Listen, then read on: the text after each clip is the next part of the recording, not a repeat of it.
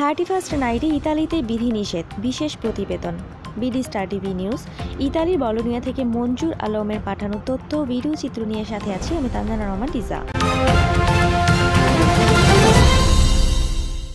মহামারী করোনা ভাইরাসে বিপর্যস্ত ইতালিতে দ্বিতীয় ঢেউয়ের তাণ্ডব চলছে। করোনার সংক্রমণের আশঙ্কায় দেয়া হয়েছে লকডাউন। নতুন বছর উপলক্ষে বিধিনিষেধ থাকছে ইতালিতে। গত সপ্তাহে সোমবার থেকে ইতালিতে জনসাধারণের চলাচলের উপর কড়াকড়ি আরোপ করা হয়েছে।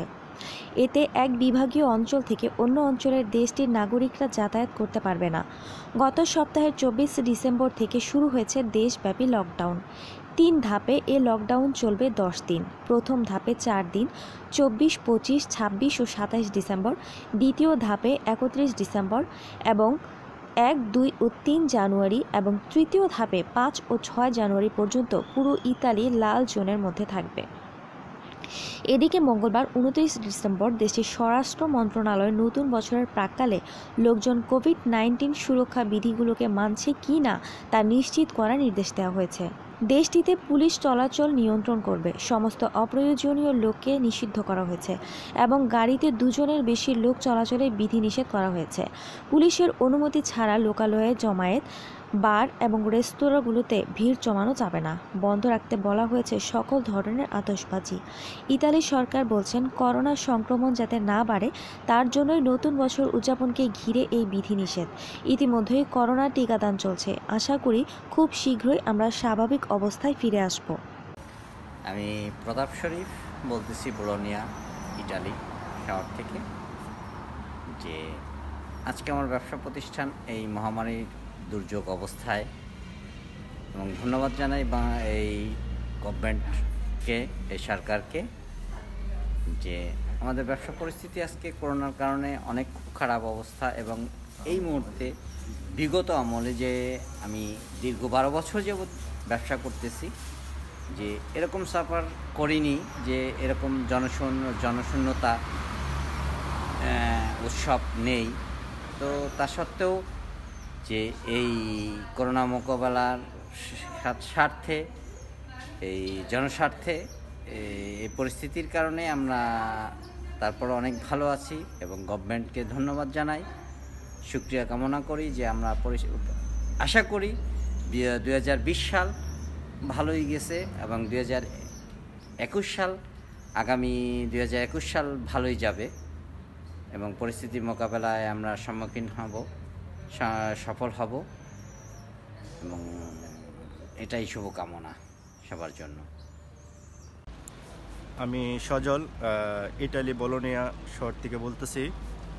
আজকের যে পরিস্থিতি আপনারা দেখতেছেন আজকে একত্রিশে ডিসেম্বর। আমি অতীত ছিলাম এখানে। আমি দেখার মতে এখানে দেখেন, পুরাটা মাঠ পুরা শূন্য।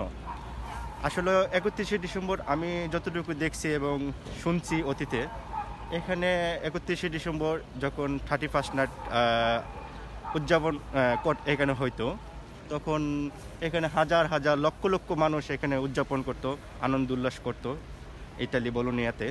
ইটালি সারে ইটালিতে আজকে এই করোনা কারণে পুরা ইটালি শহর একদম স্তব্ধ হয়ে রয়েছে। কোনো একটা মানুষও নাই এখানে, সব একবারে শূন্যতা।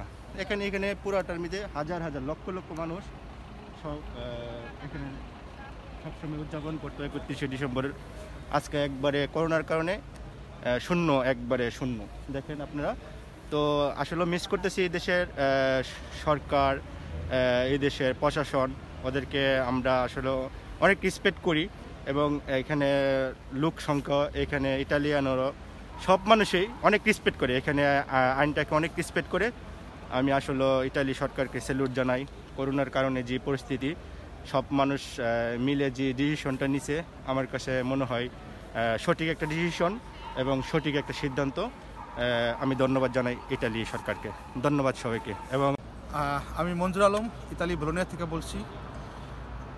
আজকের অতি দুঃখের বিষয় বলতে হয়, আজকে একত্রিশে ডিসেম্বর, যে বর্তমান যে স্থানে দাঁড়িয়ে আছি, এই একই স্থানে গত ডিসেম্বরে এখানে হাজার হাজার লক্ষ লক্ষ মানুষের সমাগম ছিল।